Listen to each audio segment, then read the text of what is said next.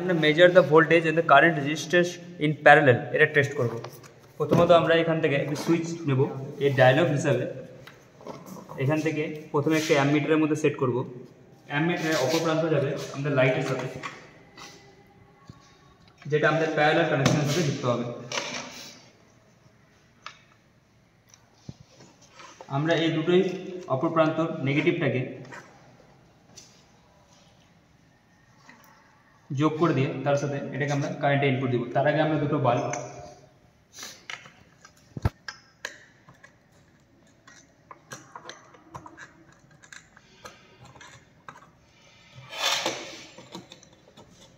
দুটোতে ইনপুট করব।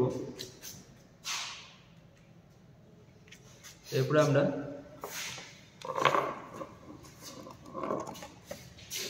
এটাকে ইনপুট দেবো।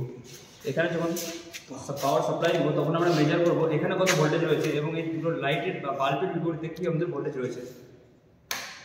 এখানে সুইচ দিলাম যা ভোল্টেজ রেটিং আসলো সেটা আমরা এখানে মেজার করব।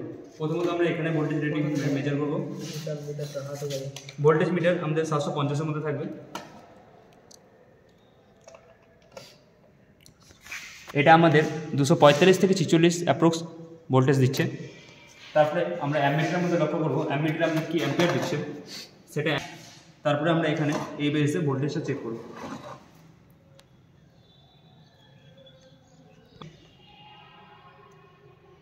দুশো পঁয়ত্রিশ সামথিং রেজিস্টারের মধ্যে লাইটের মধ্যে ওয়ারিং ড্রপ আছে।